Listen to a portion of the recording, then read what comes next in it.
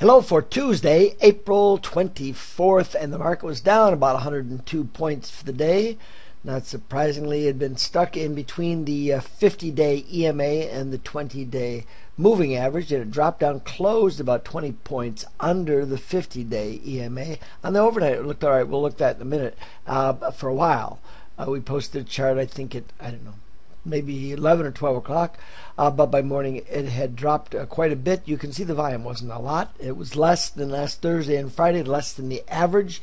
Uh, if we continue down this, as we showed, I think in the newsletter, it's just a possible measured move. It'd have to go down below the low. At the moment, doesn't look like that only because a lot of stocks are still looking all right and if a lot of them don't, and also the shorts that we had uh, didn't, you know, the ones that we have in the watch list didn't do much. I mean, some of them dropped a little bit, but there's no big selling. There are some stocks, I'm sure there are, but not the ones we have, and we've been doing a long time. SPX, as you can see, dropped uh, below its, and it, remember, not gone up as high as the others as far as uh, the retracement level. It did get up almost to its 20 day last week but it's been pulling back and it dropped below its 50 day EMA as well, as you can see. But that also had been lower volume.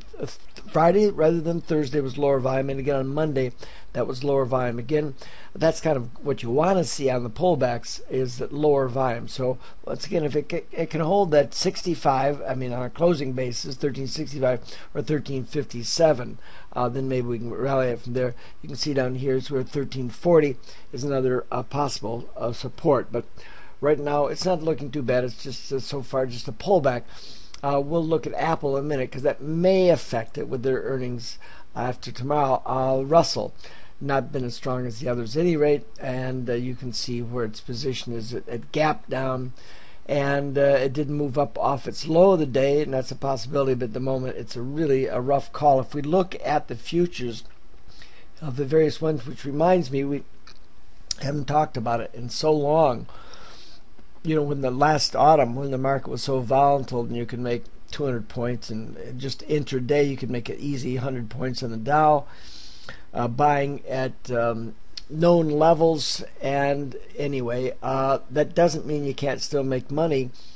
On the homepage, uh, StockTiger.net, of course, there's a link to uh, to a trial, uh, a free trial, so you can use Global Futures, try out their platforms. They put money in the account. It's real, but it acts like you use live streaming data. You might want to try futures. Once again, here, using just a simple little RSI here on a 30 minute chart, when the, the sell was the RSI crossed up right here, and you can see that basically picked a high around 13,000, and it crossed uh, back up over the 30 period, which we posted this chart, of course, and it was live on our live live streaming page, which you can watch, and that was the buy right there uh, about 11:30 in the morning, and then later on on the retest of 78.6, we posted this chart as well. And you can see where the close was right this trend line. So another buy could be above this trend line because then the stop just goes underneath. So you don't risk a lot. But it's good if you can get this uh, RSI that when it moves over sometimes it comes back and retests it or maybe even drops a lot more. But once again you have a tight stop and when it works out you can see you made really nice points on there so if you're trading futures it's a kind of easy money uh, you have to pay attention, but in some ways you have to wait for the setups for quite some time. But when they set up, it's a nice thing. Here's the S&P 500, same situation. We posted this chart as well before it got up to this trend line, pointing out that it was getting close to it, and the RSI had gone back over 30 right here, signifying a possibility of a low. The other thing was is down almost S3, and as you know, unusual when they go if they drop under S2 that they'll ever go under S3. It's you really have to have a big sell-off, and that just wasn't happening. There were stocks still uh, going up, and big sellers weren't on our watch list. We didn't have any any big, let's say. None of these shorts were really dropping off. Anyway, here's the secondary buy moving over. Not a big, uh, big move. It closed underneath, closed in general market session underneath uh, the S2 pivot uh, for the day. So if this continues, look at the resistance at 38% and what was S1 at 1369, and of course 50%, and so on. What we when we mentioned Apple, what we meant was uh, let's see which chart is which. I've got two of them, and uh, all right, here's one we posted. This was kind of an easy place to possible buy because, once again, you know what you're doing Remember last week? Oh, sorry about that. Uh, which one was it? I think it's this one here. Last week we posted this chart several times and we showed there was a first gap here that had come down to and that was at its first bounce. And it hadn't quite filled the gap. Then, of course, today it was down filling the first gap and it came to the second gap support. At the moment, we, when we posted the Williams indicator, you can see it was already in the oversold area. It doesn't mean it can't continue or stay for a while. It just was at oversold. I'm sorry, I hit the same thing again. I'm I'm using my mouse in the wrong way. Let me see if I can do it better. Okay. Um, hold on. I guess I have to move the whole up. This is a picture, and I was thinking it was a real chart. It's a picture of the chart. Okay, uh, what I'm showing you here is that RSI also was under 30. I can't move it off enough screen. You can look at this on the uh, on the stream. It was slightly under 30, and what our post said is that of course it's overbought, oversold. So it's and since it gap support that is, could be a buy area, we said we wish in time it would take a little while longer because we like to see a little bit longer time under 30. But still, that's a, a buy signal. The buy uh, worked out okay, and you can see that's where they move up. And of course, using the 60-minute chart here.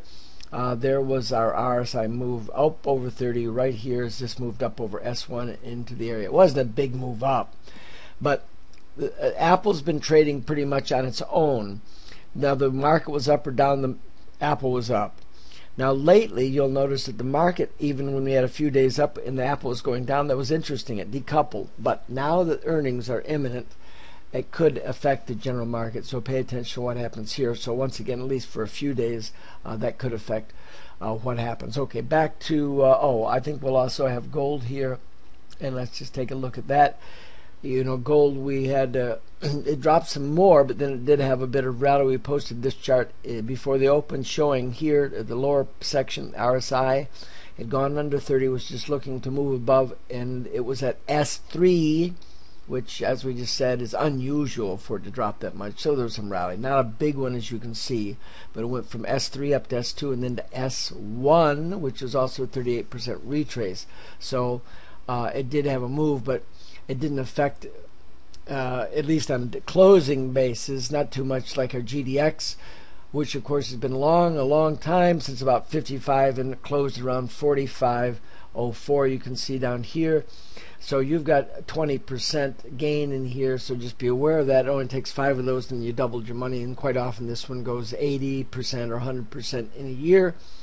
Uh, so it's still been an excellent system for now. I think we're in the fifth year, and it's uh, doing great this year. Sometimes you get frustrated with it because you get these whipsaws, and um, and then you get these extended moves, which are pretty nice, even with a whipsaw in between. Now SLV short uh, didn't have these a whipsaw because it only had the one green bar and it never switched back to a buy. It stayed on a sell, and of course it was down again uh, 78 cents for the day. Not too bad. As far as other stocks, most of the day things were in the red.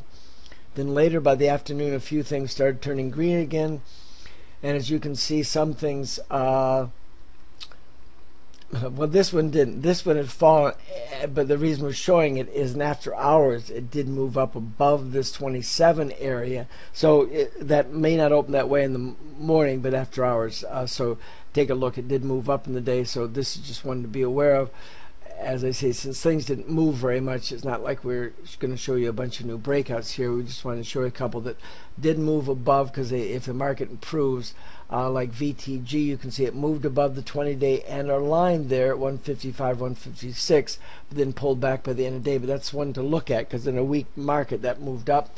Uh, Crocs uh, shoes, uh, uh CROX moved up as well above that first little buy level into the second one had improving volume that may continue AEO you may have bought because we had double levels on that I think the first one here is a two uh, 1777 so it moved up 10 cents above that and then the next one 1792 so it has good volume it looks like this is uh, set up nicely. Be aware we're in earnings season so make sure you know when they're going to report So you don't buy ones. Let's suppose you, you you bought this one thinking it was good, and then if they report and it opens up down, you don't want that to happen. So you want to make sure that when you're holding something overnight, you know when they're going to report and don't get caught by surprise. PCO actually triggered on Friday, just showing that this moved up tiny amount just showing that the, it was okay. It's still within that level. If we get a good day, this may uh, move as well.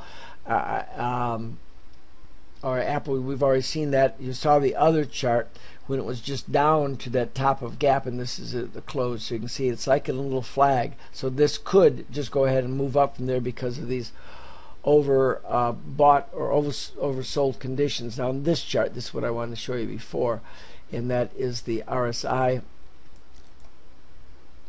right down there at the bottom you can see how that was just for a brief minute time it was under the 30 and we said it'd be nice if it could go sideways a little bit more. It didn't. It moved up. That's a valid buy because you have a tight stop on it. The last time that turned out to be worked very well from the 571 up went to 620 something so pretty nice.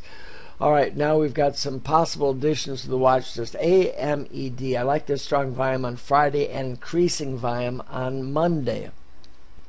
Problem is, within this range, it's tough. If it pulls down to the support around 14, that's probably a buy. Just watching to see if it like bounces back up. You can grab it as it does uh, with a tight stop. The other approach to this is above that 1473 uh, high. That's another 50 cents above. Uh, so you can trade in between a wait until it breaks out above that, if indeed it does. Uh, also, BRE, this is one you can see 5203 is where it was in February and it was 5203 was the high of the day so you could say above 5203 or 5215 that was its high on Friday. But you can see increasing volume the past three days in a row so that one looks pretty nice. Uh, DSCO this is one that we looked at not very long ago into the gap. Now it's gotten very close to that as well so it could be like a little continuation here above that 273. Actually got as high as 280. And you can see the gap starts at 295. So from 280 to 295, that 15 cents, uh, depending on how it opened in the morning. If it opened a little bit lower, then I think I'd buy it again over 280 and see if you can get in that 15 cents worth uh, because that's enough of a range to probably get out of if you have to if it reverses.